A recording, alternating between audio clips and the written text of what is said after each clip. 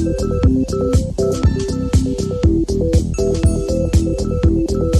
there, I'm Arya Shinde from class 10 CBSE. I'm a part of Atul Tutorials. Today I'm here to present my science video for Atulya Science Fair 2022. So as we know there are three parts in science. First is chemistry, physics, then biology. So now let us look on into chemistry. In chemistry, organic chemistry is the main core part of chemistry subject. Let us understand what is organic chemistry. Organic chemistry is the chemistry related to carbon. Now let us look on into carbon. What is carbon? The word carbon is derived from a Latin word named carbo which means coal. Carbon is a non-metal element. It is present 0.03% in the Earth's atmosphere and 0.02% in the Earth's crust. So now let us look on to the role of carbon in organic chemistry. Carbon forms covalent bonds as carbon has 4 electrons in its valence shell. It is not possible for carbon to lose or gain 4 electrons. So it forms bond by mutual sharing of electrons which we can say as covalent bonding.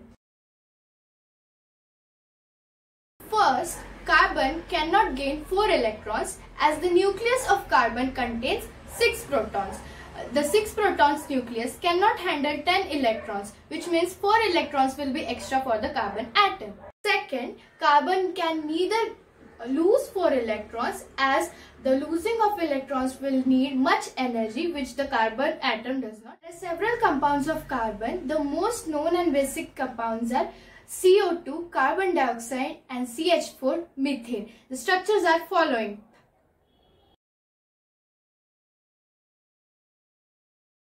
There are some physical forms of carbon too, known as allotropes of carbon. The most known allotropes of carbon are diamond, graphite and Buckminster fullerene. Now let us understand the versatile nature of carbon.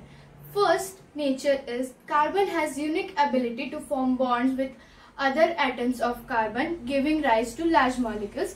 This property is known as catenation. Example of catenation is ethane or propane. Second property is uh, tetravalency. As carbon has 4 valence electrons, it is able to bond with 4 other atoms. So it is known as tetravalent compound. Now let us look on into hydrocarbon compounds. Hydrocarbon compounds are the compounds formed by the bonding of only carbon and hydrogen atoms.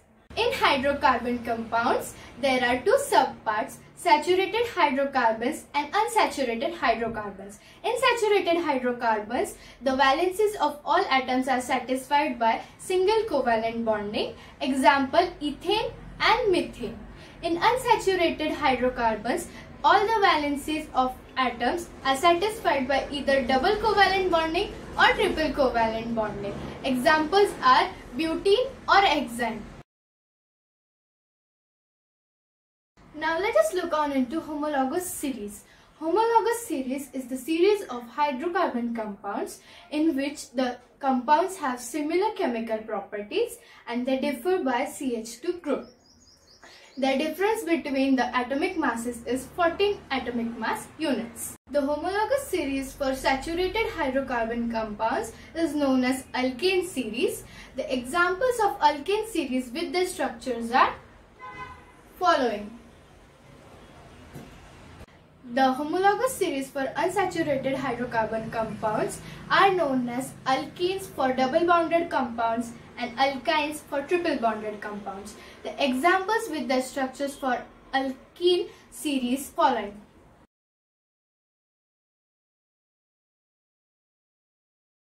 Examples for alkyne series with the structures is following.